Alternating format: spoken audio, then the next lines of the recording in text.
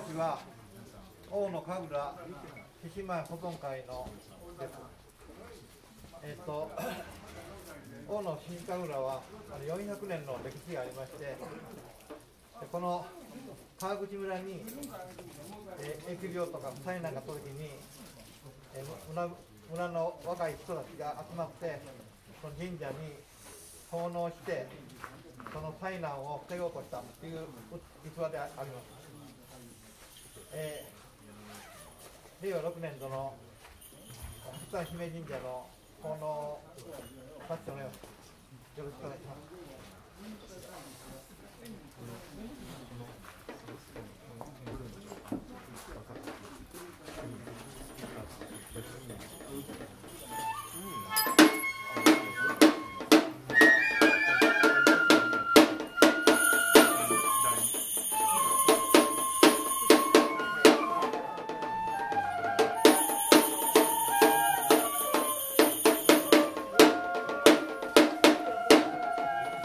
느낌이요.